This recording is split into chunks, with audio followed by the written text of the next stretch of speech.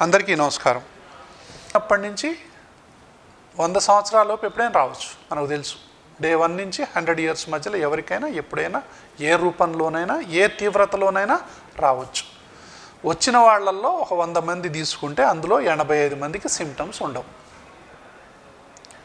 తర్వాత ఒక ఎనభై ఎనభై ఒకటి అంటారు ఎనభై అంటారు ఎనభై ఐదు అంటారు కొంతమంది. ఓ పది పదిహేను మందికి మాత్రం మోడరేట్గా ఉంటుంది. హాస్ప కొంచెం కొంచెం జ్వరం ఎక్కువ ఉండటం ఒళ్ళు నొప్పులు ఎక్కువ ఉండటం కొంచెం ఆయాసం ఉండటం. సో వీళ్ళు హాస్పిటల్కి పోయి అడ్మిషన్ లేకుండా అవుట్ పేషెంట్లో చేయించుకోవటమా లేకపోతే రూమ్లో ఒక రెండు మూడు రోజులు ఉండి కొంచెం ఆక్సిజన్ తీసుకొని డిశ్చార్జ్ అవ్వటం అనేది వీళ్ళు ఒక సెగ్మెంట్. తర్వాత ఇంకొక ఐదు శాతం మంది ఎవరు ఉంటారు అంటే తీవ్రంగా ఉండేవాళ్ళు ఉంటారు. క్రిటికల్ కేర్ అంటాం. సో వీళ్ళు ఐసీయూలో అడ్మిట్ అవ్వాలి? ఐసీయూలో అడ్మిట్ అయ్యి ట్వంటీ ఫోర్ అవర్స్ వీళ్ళకి మానిటరింగ్ చేస్తారు. ఎవరికైతే అవసరమో వాళ్ళని వెంటిలేటర్ మీదకి పంపించడం అనేది జరుగుతుంది.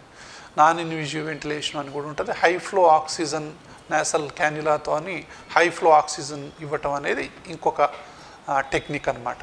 సో ఏదో ఒక రూపంలో మొత్తానికి వీళ్ళు ట్వంటీ ఫోర్ అవర్స్ అబ్జర్వేషన్లో ఉండాలి. మనం ప్రత్యేకమైనటువంటి సందర్భాలు కొన్ని డిస్కస్ చేసుకుందాం. ఏ సిమ్టమాటిక్ పేషెంట్లు ఎక్కువ ఉండటానికి కారణం ఏంటి అనే దాని మీద ఒక రీసెర్చ్ జరిగింది.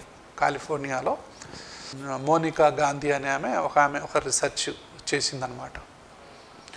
దాంట్లో ఆమెకు తేలింది ఏంటంటే ఒకటి మరి వాళ్ళ ఇమ్యూన్ పవర్ని బట్టి కొంతమందికి ఎందుకు కొంతమందికి తీవ్రంగా వస్తుంది?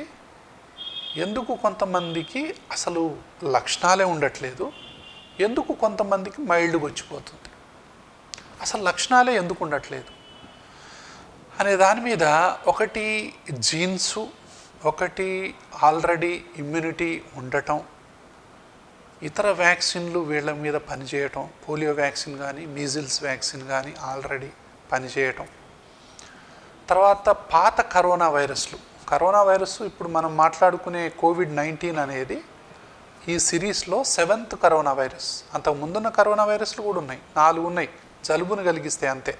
తీవ్రంగా ఉండవు. వాటి వల్ల ఇమ్యూనిటీ ఏమైనా వచ్చిందా? ఇదివరకు ఉన్న వాళ్ళల్లో ఎందుకు మైల్డ్గా ఉంటుంది అంటే వీళ్ళకి ఆల్రెడీ కరోనా కోల్డ్ వచ్చేసి చిన్నపిల్లల్లో వాళ్ళల్లో కరోనా వైరస్ ఇన్ఫెక్షన్ ప్రతి సంవత్సరం వస్తుంటుంది కొంతమందికి. ఒక నాలుగు వైరస్లకి corona వైరస్లకి. Middle east respirator MERS and SARS అనేవి ఒకటి ఇప్పుడు సార్స్ కోవిడ్ టూ అనేది ఇది లేటెస్ట్. ఇవి ఇవి లాస్ట్ మూడు డేంజరస్. ఫస్ట్ నాలుగు మాత్రం మామూలు కోల్డ్ని కలగజేసేవి. వాటి వల్ల అంటే లెస్ ఈవిల్ కజిన్స్ అంటాం. అవి కొంచెం తక్కువ నష్టాన్ని చేసేటటువంటి ఆ కరోనా వైరస్ల వల్ల ఇమ్యూనిటీ ఏమైనా వచ్చిందా అనేది ఒక అంచనా. కాబట్టి ఏసిమ్టమాటిక్గా ఉంటున్నారా? కాబట్టే వాళ్ళకు కొంచెం వచ్చి వెళ్ళిపోతుందా జబ్బు అనేది ఉంది.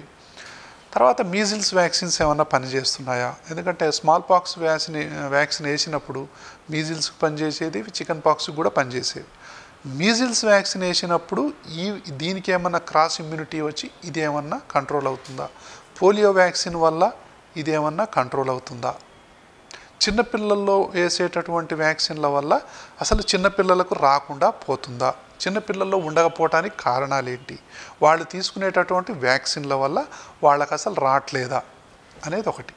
పెద్దళ్ళల్లో న్యూమోకోకల్ వ్యాక్సిన్ ఇప్పుడు మాట్లాడుకున్నాం మనం ఇందాక. న్యూమోకోకల్ వ్యాక్సిన్ ఒకటే ట్వంటీ ఎయిట్ పర్సెంట్ కంట్రిబ్యూట్ చేస్తుంది కరోనా వైరస్ అనే దాన్ని సివియారిటీని రాకుండా చేయటం కోసం. మళ్ళీ పోలియో వైరస్ చేస్తుంది. మళ్ళీ మీజిల్స్ వైరస్ చేస్తుంది. తర్వాత ఇన్ఫ్లుయెన్జా వైరస్ ఆ vaccine so pneumococcal vaccine influenza vaccine measles vaccine ఇవన్నీ కూడా ఏసిమ్టమాటిక్ ఉండటానికి కానీ కరోనా వైరస్ వచ్చినప్పటికి కూడా తక్కువ సిమ్టమ్ ఉండటానికి కానీ కారణమా అనే దాని మీద రీసెర్చ్ జరుగుతుంది. సో ఇట్లా ఎందుకు కొంతమందిలో తక్కువ ఉంటుంది?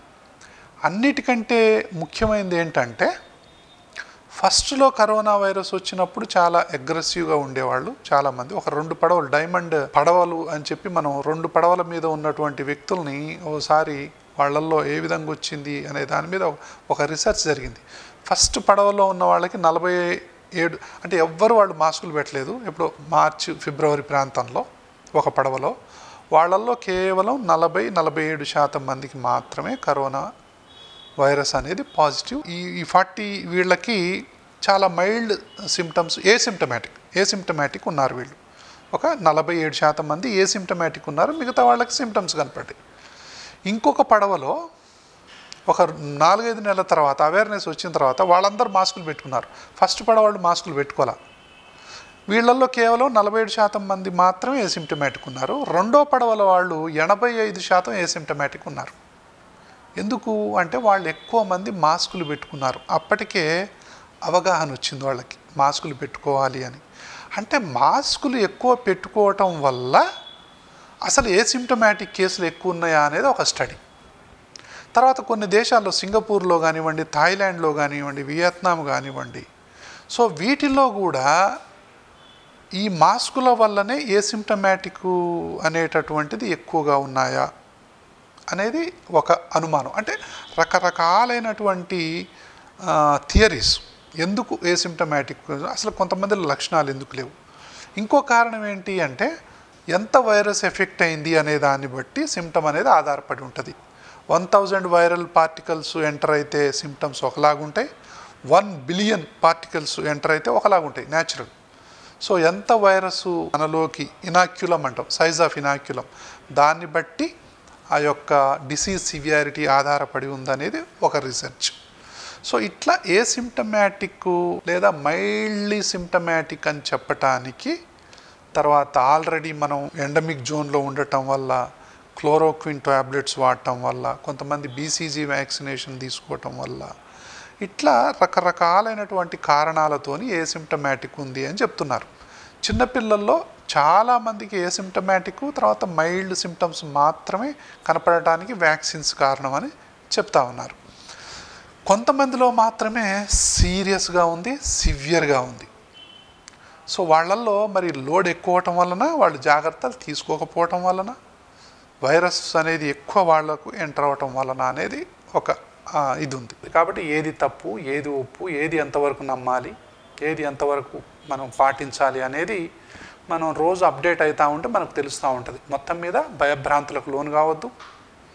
అతి నిర్లక్ష్యం అనేది చాలా ప్రమాదం. అతి భయం అంతకంటే ప్రమాదం అవగాహనే ముద్దు. ఇదే నేను చెప్పదలుచుకున్నటువంటి విషయం. డాక్టర్ విష్ణురావు వీరపనేని శ్వాస హాస్పిటల్ నుంచి. Thank you so much. ఇరవై ఒకటవ యానివర్సరీ సందర్భంగా ఈ యొక్క వీడియోని మీకు ప్రజెంట్ చేశాం. దయచేసి అందరూ లైక్ చేయండి కామెంట్ చేయండి షేర్ చేయండి. పది మందికి ఉపయోగపడేలాగా చూడండి. Thank you so much.